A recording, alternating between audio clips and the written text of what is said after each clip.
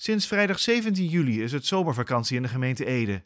In het raadhuis doet men het rustig aan, de scholen zijn dicht en mensen trekken er alsnog op uit. Kortom, vakantietijd. De regio's Zuid en Noord hadden al vakantie en nu kun je dagjes erop uit, maar velen gaan er ook tussenuit en kiezen voor vakantie in eigen land. De gemeente Ede kent allerlei mogelijkheden voor de toerist. We zijn een vakantiepark die dus eigenlijk hoog in het vaandel staat van rust, natuur en fietsen. Um, is dat voor jullie ook erg belangrijk, de natuur? Zeer belangrijk, onze vakantiegasten ook. Um, jullie zijn ook een, een, bijzonder vakantiepark omdat nou ja, bijvoorbeeld dit zwembad is ook iets bijzonders mee aan de hand. Klopt, Martin. Uh, het zwembad is uh, helemaal uh, verwarmd door de zonnepanelen, zonnecollectoren en een warmtepomp. Dus geheel van het gas af. En het water is een constante temperatuur van 26 graden tot 28 graden. En dat is echt lekker.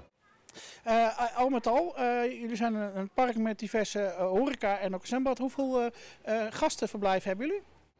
Op dit moment hebben wij zeg maar 200 woningen, waarvan zeg maar ongeveer 140 woningen voor de verhuur beschikbaar zijn. corona heeft er denk ik aardig, aardig ingehakt. Is dat ook bij jullie het geval? Zeker.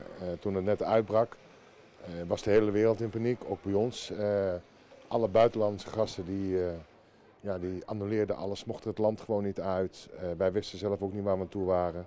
Dus er werd onnoemelijk veel uh, zeg maar, geannuleerd. En, en toen hebben wij zeg maar, een soort vouwtje uitgegeven. Dat mensen de, zeg maar, de vakantie konden verzetten. En dat is een goede aarde ontvangen, ook bij, bij de buitenlandse gasten. Um, hoe, hoe, is het nu met, met, met de toeristen die hier naartoe komen? Ja, we zijn uh, eigenlijk vol en uh, de maand augustus ook vol. Uh, september gaat ook vol. En tot nu toe, ja, we stromen maar vol, maar het zijn over het algemeen Nederlandse gasten. En die zeg maar ja, van fietsen, natuur en wandelen houden. Hoofdzakelijk Nederlandse gasten, maar zijn er ook wel wat, wat buitenlandse gasten? Ongeveer 10% Het begint nu aan trekken 10 tot 15% Het zijn voornamelijk de Duitse en de Belgische gasten. Is het voor jullie ook een, een voordeel dat heel veel mensen zeggen van nou, we gaan vakantie vieren in eigen land, we laten het vliegtuig even links liggen? Zeker, voor ons is dat een heel groot voordeel. Uh, heb, heb, je wel eens bij jezelf gedacht van joh, hoe gaan we deze tijd uh, doorkomen tijdens uh, corona? Spannend. Vooral in het begin was het zeer spannend. maar nu hadden we, zeg maar, een, een, voorbeeld te geven waar het Leuke Café, daar werkten allemaal zeg maar, drie personen.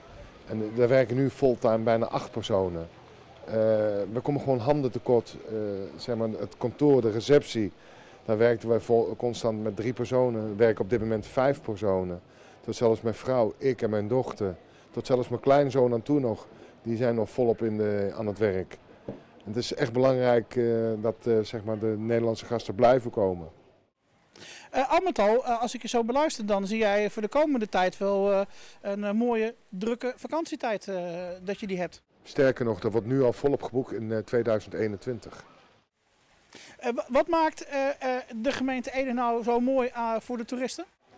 De natuur, de marketing. De gemeente Ede is bijzonder goed bezig met marketing.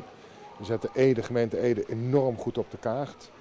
En dat geeft voor ons soort ondernemers ik denk ook de middenstand ook een beetje, wordt er geen windeieren doorgelegd. Een uh, goede vakantie kan je dus ook in de gemeente en ook hier in Wekerom uh, hebben. Zeer aanberaden. Zeker, zeker doen.